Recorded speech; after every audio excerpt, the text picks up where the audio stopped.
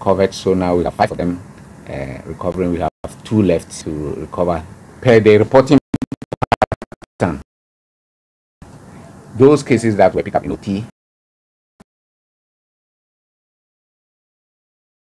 are being managed.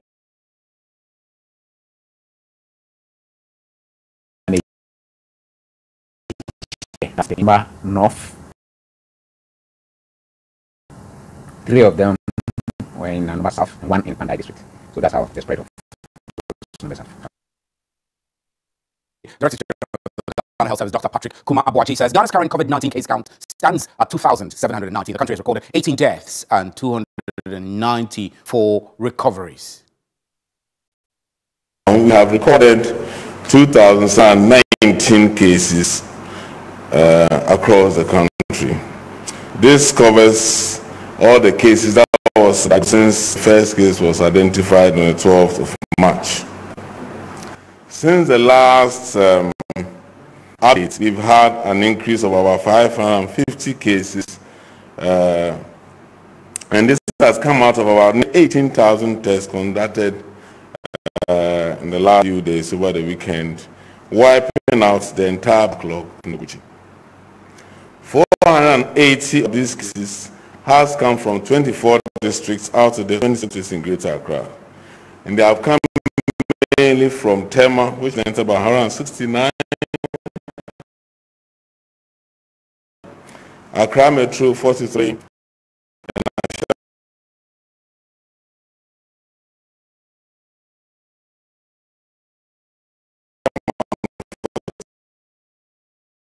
The rest of the country 20 new. The 1,685 identified through the enhanced contact tracing has been done nationwide, especially in Ashanti and Accra. The cases of quarantine, which have been reported earlier, still remains 115. How did they end?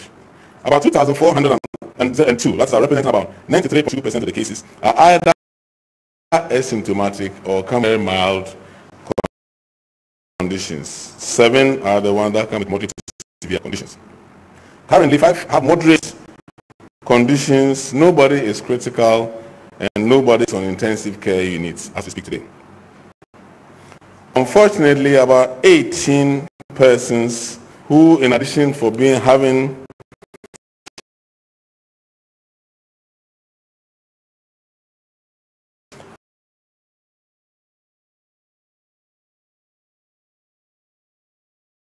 always work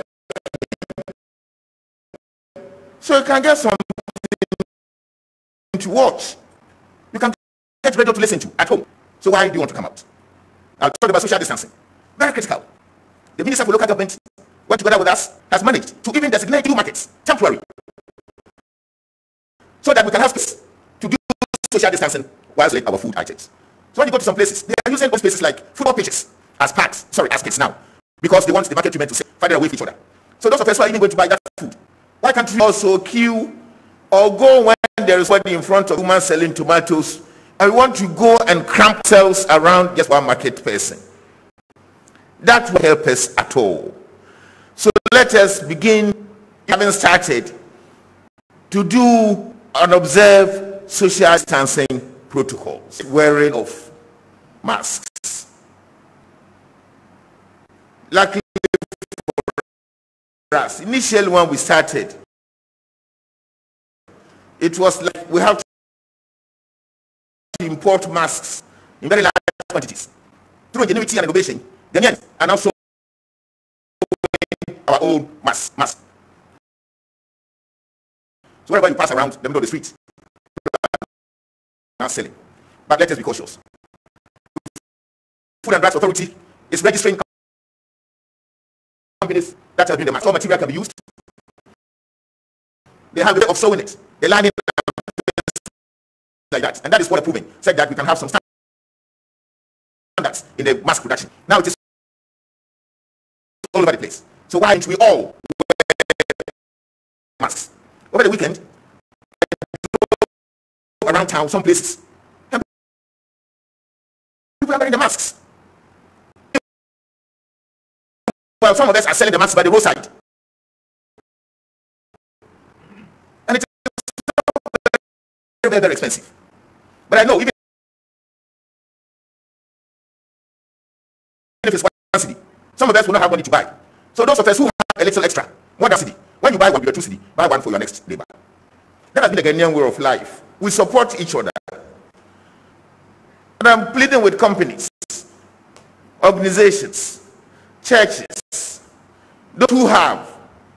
There are those of us who don't have. We need some to wear so that the president will know we're listening to his advice. So the idea of I don't have money to buy should not be an excuse to end up from anybody.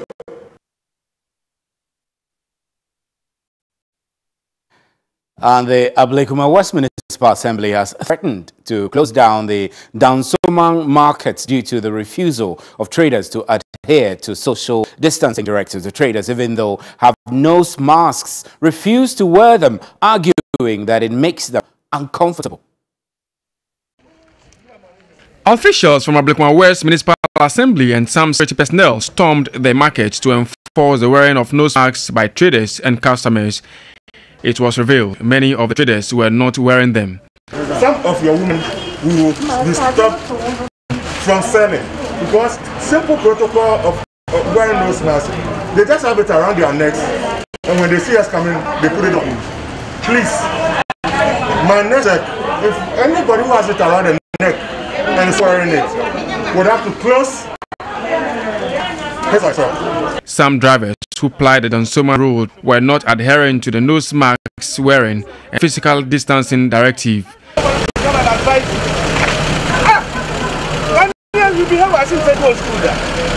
The Ablekuma West Municipal Chief Executive George Blay urged traders and drivers adhere to social distancing protocols. Funny enough, some are like uh, we can't breathe and that. And my question to them is, would you want to breathe freely and contract the virus, or you would want to protect yourself? What we are doing this morning is, if you're not wearing it, we force you to wear it. He further threatened the closure of the market. If it so happens that we get in there and we realize they are not observing the protocols, we wouldn't have an option but to close the place down. The Dansoman Divisional Police Commander, Chief Superintendent Isaac Koju Asante, also entreated the traders to be cautious. Their problem was people who are rather coming to buy who are not using it. So uh, we will be speaking to management of the market so that from Monday, uh, I think other will assist them to be at the gate so that anybody who is not having the mask will be uh, turned away. Ablekuma West has so far recorded some 37 COVID-19 cases. Joseph Armstrong, TV3, Accra. And here in the studio, I'm Stephen Enti. Traders at the new Ashaiman Mandela Market have accused their leaders and the Municipal Assembly of extorting monies from them on a daily basis. They allege paying 10 cedis daily to enable them sell at special locations. But the Assembly has denied these allegations. Here's a report by Sarah Paco. Over 400 traders who sell at the new Mandela market have been relocated as authorities take measures to curb spread of the coronavirus. The market was closed over a month ago due to the traders' disregard for the social distancing protocol. Some have been asked to sell at the Rome Down School Park, while others are to sell at these new sheds put up by the assembly. But a visit to the market revealed some of the traders had returned, while others were selling at unapproved locations. According to them, the new allocation was conducted based on favoritism.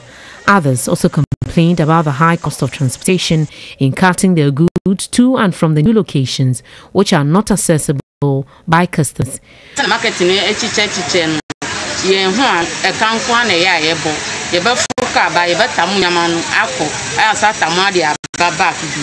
Tina Hato is Queen Mother of the market.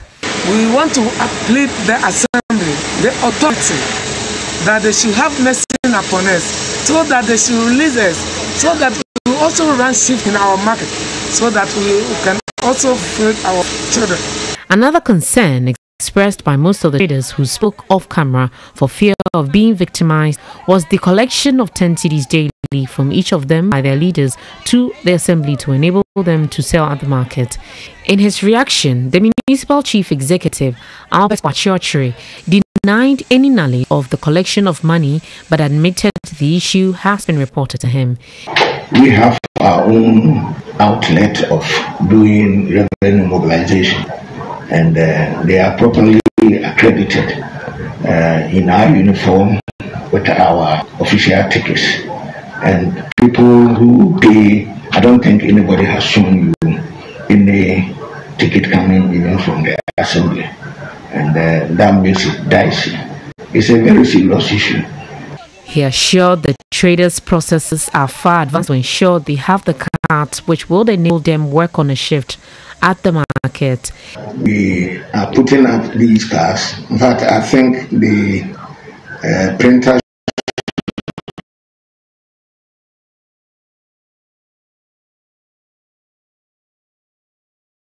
out of it with the but it has specific uh, security features to prevent people from cutting a lot into the whole system just to uh, make it unworthy. The new Ashaiman Mandela market was established years back to decongest the Kaketo market. Uh, let's go to the western region now, where the region confirmed COVID uh, 19 cases, uh, increasing from 9 to 23 in the past three days. TV3, TV3 News has uh, learned that all cases are asymptomatic. The Biosafety Level 3 laboratory at the Regional Veterinary Services Department has begun testing for COVID-19. Let's go live to the Western Regional Coordinating Council, where my colleague Eric Awaje is standing by with the Regional Minister Kwabena Okyere-Darko Mensah for more insight into the new cases.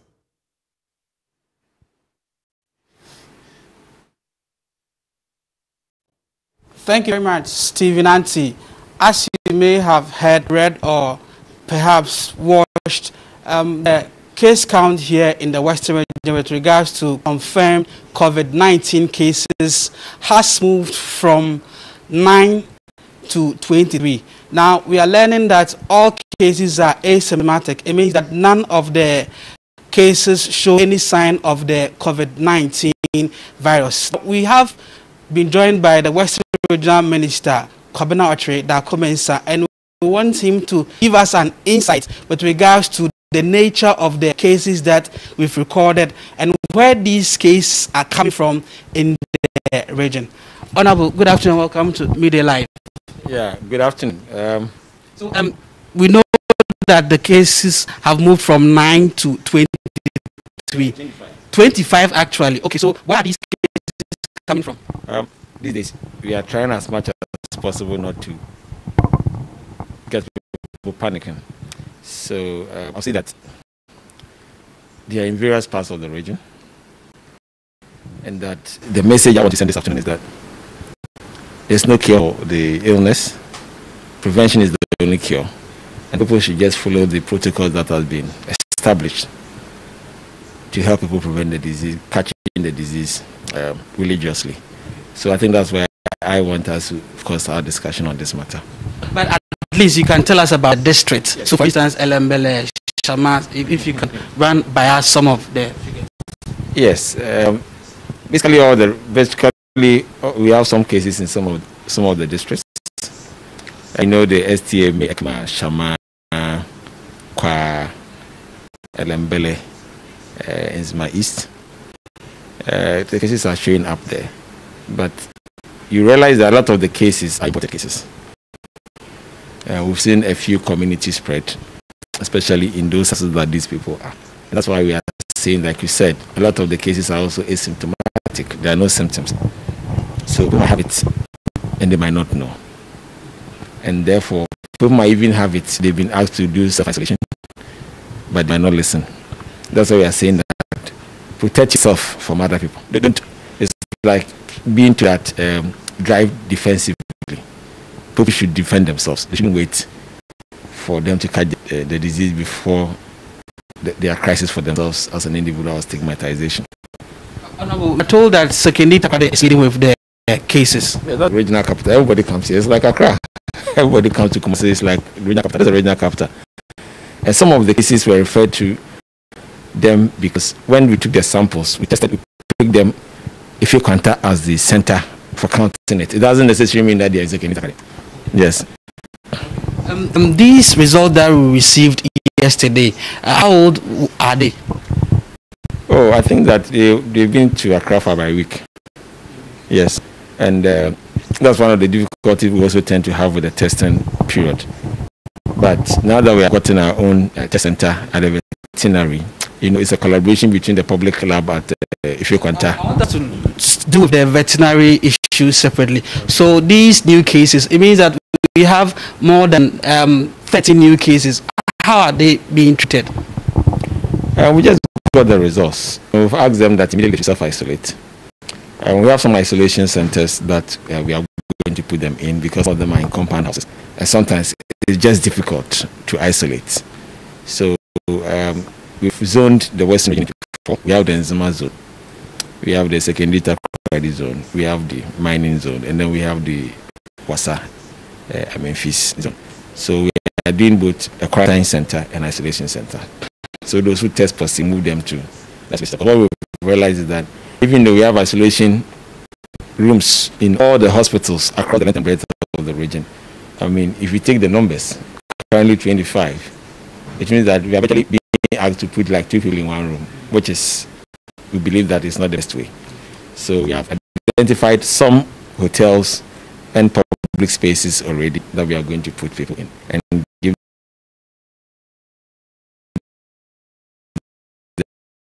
them that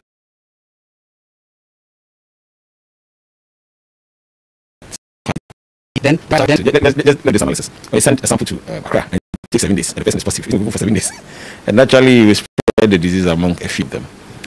Um, if somebody is a worker and he works with 200 people, just imagine what will happen. Or somebody is in a shop, he's gotten it and he's in a shop. What will happen? All the people that come there to buy will, will naturally be suspect. So I believe that testing and quickly isolating is very key because we don't have a drug for, for, for, for, for cure. And therefore isolating people for their natural body immune system to kill off virus is key. And therefore, ability to isolate as quickly as possible and then give them some treatment so that they can cure themselves uh, is very important. So I believe that the lab coming on stream and working uh, put us in a very key position to resolve our matters in the Western region as quickly as possible. Once we've started testing internally, the knock-off effect will be that we are going to get a number of results at hand. That means that we need to prepare the isolation centers. We know that we have 13 treatment centers. What is the state of our treatment centers and i.e. the isolation centers as well? Yes. Um, the like I said, the isolation centers, we've divided this Western region into four zones. And everywhere we have some centers that can um, uh, accommodate uh, some of those tested positive or those waiting in quarantine to know their results. Yes, that's why I say that for every area we have two. We have the isolation and then we have the quarantine uh, places. Now that we are, we are testing, it means that um, maybe by the end of this week, our, our cases could increase. Um, are, there, are there any special measures or campaign put in place to make the people be rest assured that we are not in, uh, that this is not going to grow so that they'll be so scared?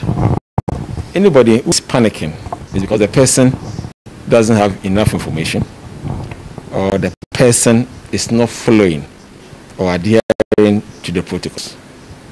Because doctors go to labs with infectious diseases. They work there 20 years, 30 years. They don't get infected. They don't die. Those doctors or nurses that go there and take it for granted, they will get infected. So what I want, to, the message I want to get across is that there is one person, two persons, or hundred. It is your ability to do yourself by following the protocols. The most important thing. All other things. Because there's consistently more than 80% of the cases that we have in the Western region are asymptomatic. They're no symptoms. So it can even happen that your best friend that sitting with him right now. That's it. You don't know. Your ability to get yourself. Wear a nose mask. Wash your hands.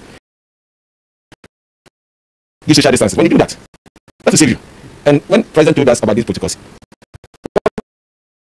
a message that this uh, disease, which uh, say the enemy you can't see with your naked eye, the tools, but the fight you're fighting, nobody has been given his gun. What is the protocols to fight it? So don't wait for it to catch it before you complain, and don't panic. So because you think that in your community there's a, a positive case, it's your ability to protect yourself that will matter. It's not the other. Thank you very much. So that has been the West Regional Minister, Governor giving us an insight into the nature of our cases in the Western region. My name is Eric TV3 News, Second. Thank you very much. Let's move to other stories. On May 5 every year, Ghana joins the rest of the world to appreciate the work of midwives, who are women with practical knowledge of helping pregnant women give birth. Uh, in the early times when there were no highly uh, trained professionals and equipped hospitals for pregnant women, midwives usually delivered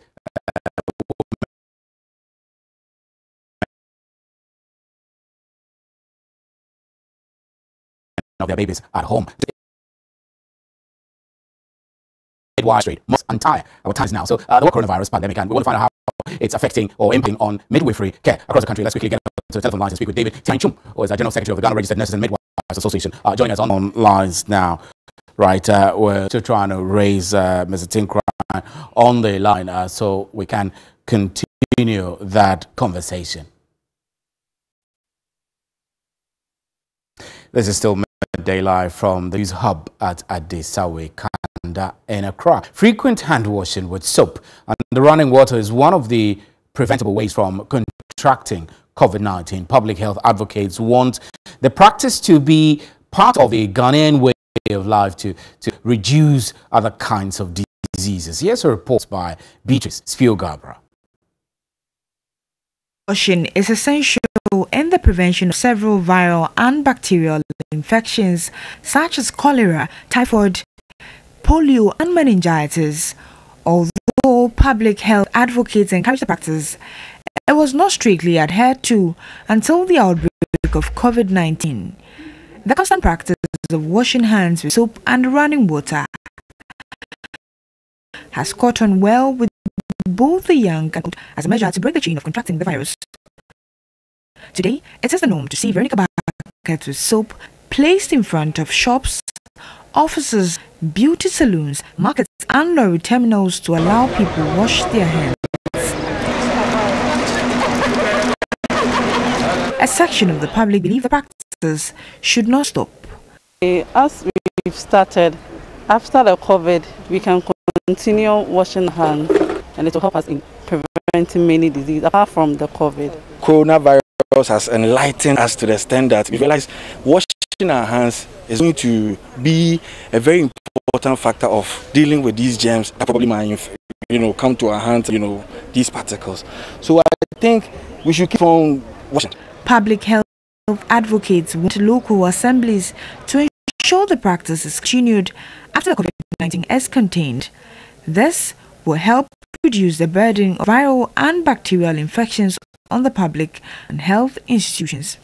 All along public education, we normally talk about it, but only as you are saying, we have not enforced it. Our challenge here is that most people do not understand what you are trying to educate them about, and that is why we find it difficult.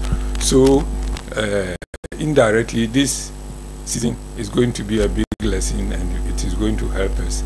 The MMTs and TCs and all the local governments have really been doing their best to buy Veronica buckets and all those things for institutions and groups of people in their facilities and business. Uh, I think we should continue to ensure that these are all over the places. COVID-19 remains a major global public health concern, but there are some positive outcomes that should be maintained. These include the frequent hand washing with soap and running water. Now, the COVID-19 pandemic has brought to the fore the need to utilize educational technologies of all sorts to provide remote learning opportunities for uh, students while schools are closed. The development has ignited the debate of whether or not to allow students, particularly those in senior high schools, to use mobile phones, which otherwise being banned in schools. In 2016, the Ghana Education Service banned the use of mobile phones in basic and senior high schools to allow students concentrate on their studies. According to the service, uncontrolled use of mobile phones by students had a negative impact on their education since they wasted valuable time on social media platforms. There are now calls for the ban to be lifted to enhance e-learning following the COVID-19 pandemic and its social distancing protocols.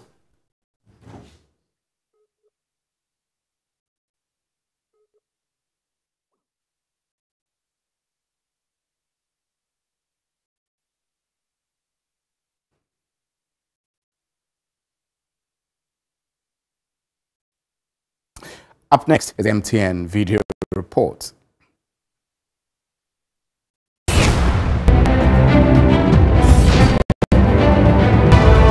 This is the office of the persons research.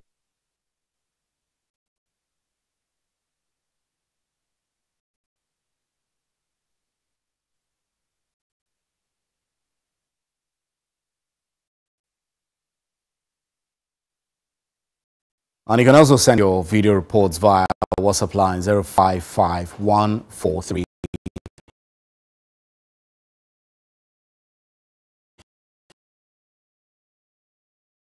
Three zero.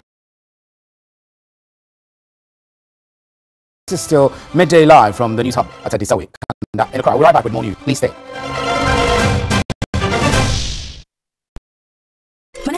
Starts, the neighbors complain her voice and the beats are too loud. Who is scared of the voices of tomorrow's superstars? You special in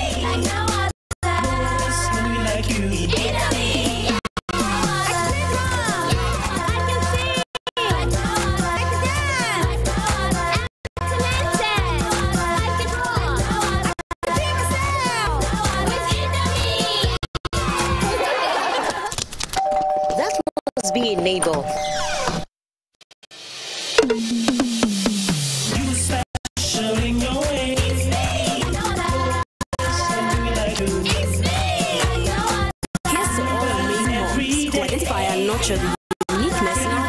Indomie instant noodles tastes great. This advertisement has been vetted and approved by the FDA.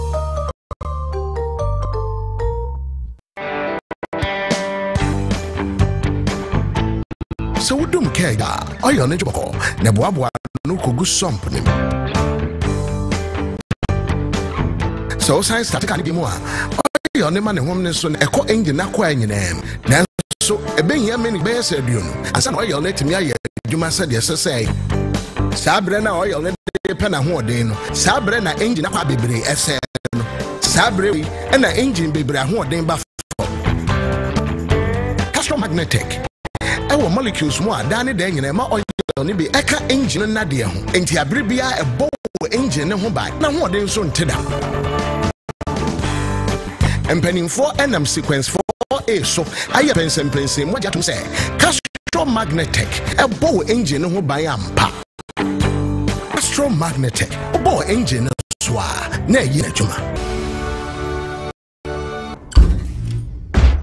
ɛyɛ a wote yɛ wɔ bɛrima mu anaa ɛyɛ a emu hyehyew wo sɛ nsu fitaa bi firi mu a wogu nsuo ntɛntɛm anaa ɛyɛ a wogu nsuo a na emu akyɛ. Wote yɛ wɔ sɛbi wayɛ ase. Ɛsɛ sɛ wobɔ birim sɛ bi a na wo prostate ɛna ɛho aba ɔha wɔ. Ɛyɛ a na wo nsa anaasɛ wo nan ayɛ titiri. Wapɔ so wapɔ so tutu. Wo nante a na wayɛ duduudu. Ɛyɛ a sɛ biribi nenam widie mu. Ebi a na stroke yɛ adeɛ na ɛbɔ wo nkayɛ endpoint homeopathic clinic.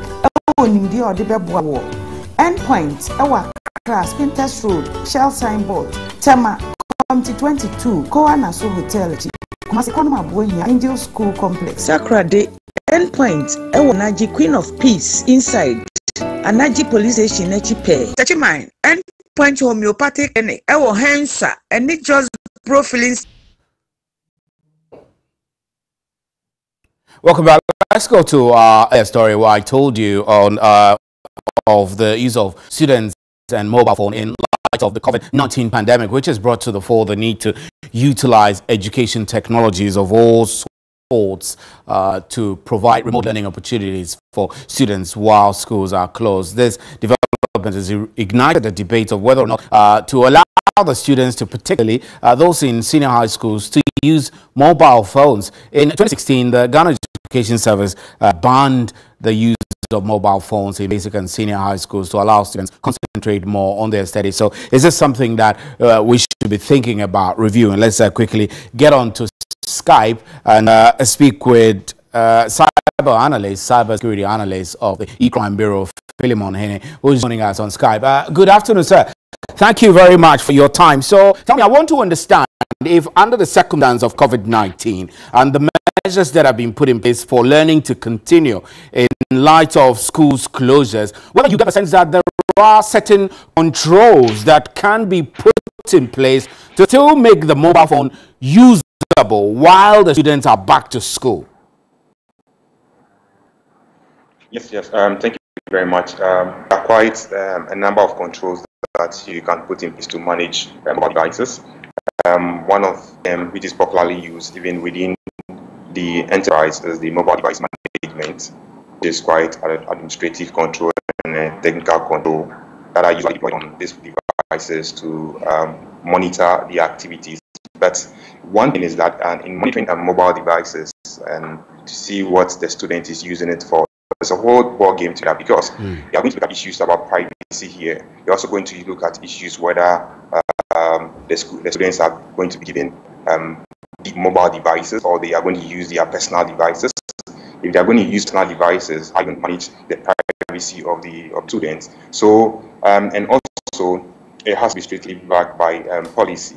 And currently, you realize that in most of the tools that we are using for online online learning, there is no standard people are using Zoom, people are using WhatsApp, people are using some solutions, which make it difficult to be able to um, regulate um, these devices. And if you are not able to create some kind of standard for these devices or for this um, solution are being used for online education, then it becomes a problem. Right. So, so Mr. Hine, I need us to I need us to take it uh, one by one. You you you are mentioning that there are uh, controls that can be uh, used in order to make this possible, but you're saying that it's not that straightforward or easy because there's a whole lot of them and even currently the students are using uh, open standards, open sourced uh, software, Zoom, Skype, here and there without particular standards. So how can any government, in, for that matter, ours in Ghana, go around this to still make sure that mobile phones can be used in schools?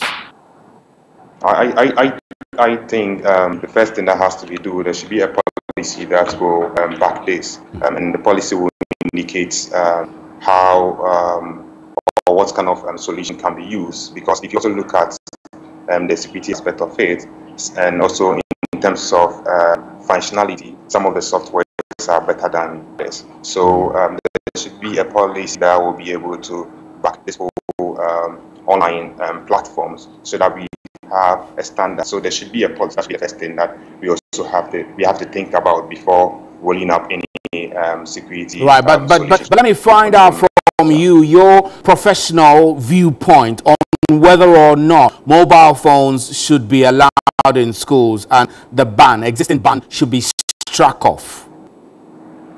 Okay, from, from my professional point of view, I think by putting the necessary controls in place, mobile phone can be allowed in school because um, there are a whole lot of information out there that are not necessarily taught in the classroom. Mm. So when there are some guidelines in the way people should use mobile devices, and also if, for instance, all institutions are going to have a network that students are going to connect, then that means uh, administrators of the schools can can determine what. But but, but you've already you've already told us that yeah. these controls are a different ball game altogether because some of them might border on privacy. So how then do we still uh, institute controls while bearing in mind the issues of privacy? Okay, so when it comes to the uh, monitoring, it can be done at the, on, on strictly on the mobile device. For instance, if you deploy a solution like the mobile device management, you can restrict apps which should be um, the installation of apps or the usage of apps. You can even measure screen usage. You can even encrypt data. These are solutions that are deployed directly on the mobile device. So that is where the privacy issues are, especially. Mm. And and again, you can also look at it from the network perspective. So it's like if you are going to connect a mobile device to um, the institution's network, okay, because the institution owns the network, okay, they are able to implement some form of restriction. For instance, you are not able to visit Facebook within um, this hour when class is ongoing. You are not able to visit, let's say, um, YouTube between this period. So that can be done at the network level. And even currently, as I, I speak with you now, most institutions, when you go to campus, they have this campus network and it's being managed. Okay, so if you connect to the Wi-Fi network, there is a um, acceptable use policy that has been developed as to what you should do once you're on the um, the school's network, the campus network, and what you shouldn't do. And once you have done something which is against, um, let's say, the policy that has been set, then administrators are able to identify it. And because these devices have been registered, able to register on network, they're able to determine who has violated um, this policy and the necessary action is going to be taken. And this also serves as a deterrent for people to um, not continue doing or violating this policy. So um, basically, if um, these controls are put in place first, then that can be done. But if the mobile devices are allowed without these controls in place, then you're going to have people accessing all sorts of content and on, on, on the on the mobile devices, which might not be healthy for uh, the, the, the students. Right, uh, Mr. Uh, anyway, for time, thank you very much. Uh, Philip is a cyber analyst with the E-Crime uh, Bureau. Let's now do, up next is business.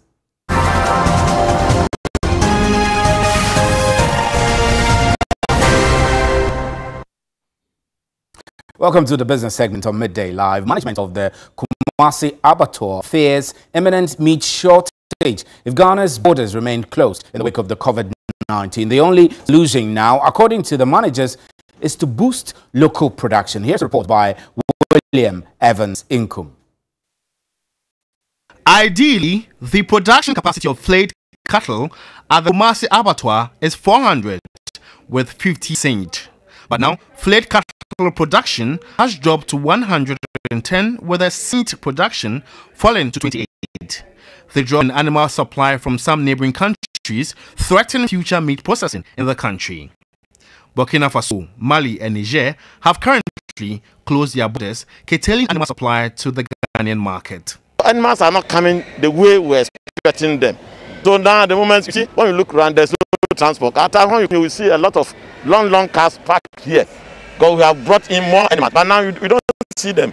The only solution now is to boost the local production.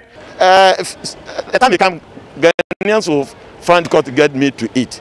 The current situation has affected the price of meat.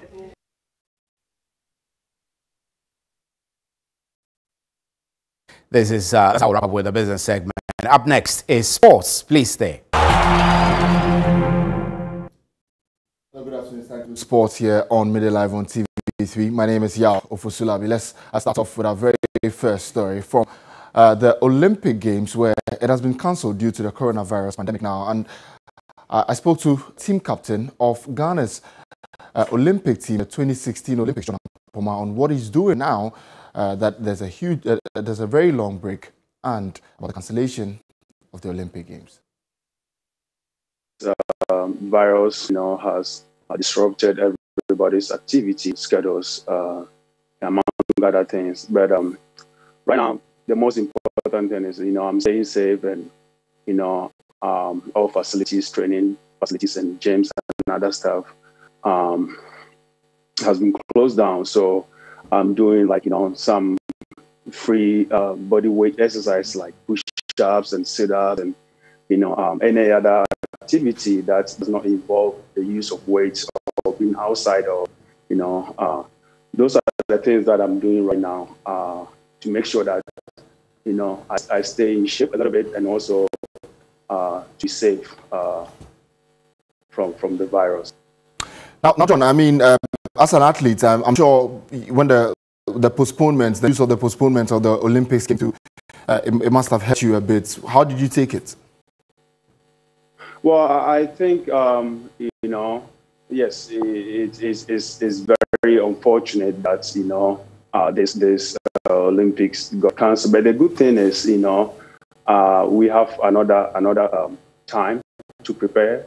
Uh, the postponement uh, is going to give us, you know, uh, I haven't qualified yet, so it's going to give me like more time to prepare well. Right. Uh, on the other hand, we have other people that are also, you know, lose their jobs. People are dying and other stuff. So the situation that I'm in right now is is not uh, as an athlete. It's not different from what others, uh, other individuals are going through.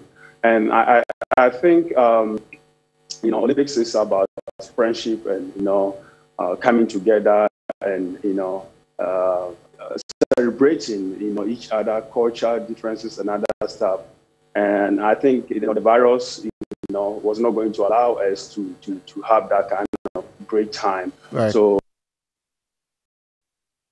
Let's move on out to Obuasi, where Ashanti Gold Football Club is one of the best managed clubs in the country, backed by rich shareholders who seek glory every season. Now, that's not that has not exactly been the story though in the last few years. Now, former BA United CEO Roy Arthur is now the sporting director of Ashanti Gold Football Club and is ready to help turn things around at the Obuasi-based club. It is a great honor to come close again and to be appointed as a sporting director to also lead the young guys into the game. I can't be working all alone. It's a collective game. Way back with BA United, their support base is equally big as Gold, and you just have to understand them side by side, and you'll be able to have a good job done. Because without them, we can't, I mean, achieve it, and without us, they can't do side by side. I, I, mean, I think we can do a very good job. The new management will not leave Ashanti Gold where we met it. We'll do our best, make good signing on, bring in quality players, and ensure that we're able to hit the European market often. So far, Ashgold has a good team. We are going to beef up, but with our new coach, the Italian coach, I mean, we can do best this year. The Minister of Youth and Sports, Honorable Isaac Asiamah, disclosed in a media briefing that the renovation of the Essipon Stadium will be carried out in two phases. Now, the initial phase, which is set uh, to uh, cost 17.9 million Ghana cedis, will cover uh, all two phases of the project. Now, the facility built ahead of Ghana hosting the 20, uh, 2008 Africa Cup of Nations tournament been wasting away due to poor maintenance culture. So we are here at Essipon to commence rehabilitation of this very important national asset. Before we even came here, you've seen the contractor site working. That should tell you we are not here to just say and go. We are here to say and do it. Critical. The work is scheduled in two phases. It's in two phases. So the scope of work for phase one include the existing defective roofing sheets will be removed and replaced. All those ones that you see, the defects, the roofing sheets that are off will be removed and of course new ones put in place. And phase two, we'll look at the seats. All the broken seats will be repaired and replaced. After Essipon is back to life, the ministry will ensure religious maintenance culture. We are going to provide maintenance manuals for all the stadiums that we are renovating. So here we have its own maintenance manual. So they go strictly according to the maintenance manual.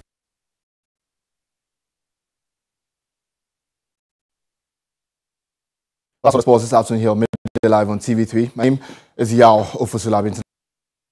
That's it for the news. I'm Stephen Enti. Thank you very much for staying with us. On behalf of the crew here, good afternoon. There's more news at 3news.com.